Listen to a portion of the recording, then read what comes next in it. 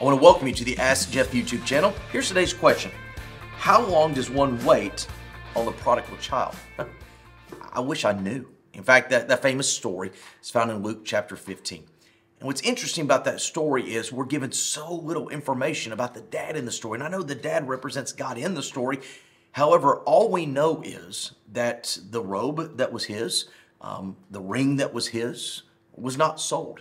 And so what we do know is this, that the picture is that that parent waiting on the prodigal never gave up on the prodigal. At the same time, we don't have any evidence that the parent, the dad, chased the prodigal down.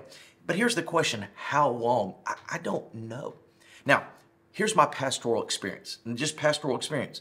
You have no idea how many people I've spoken to who either A, were prodigals, or B, were the parents of prodigals. I've heard people talk about 18 months. I've heard people talk about 19 years and I've heard of everything in between.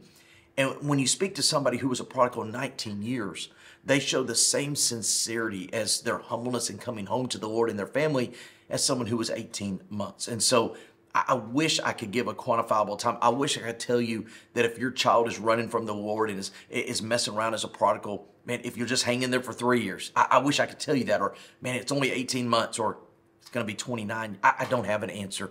The Bible doesn't give an answer on the time, but here's what it does tell us.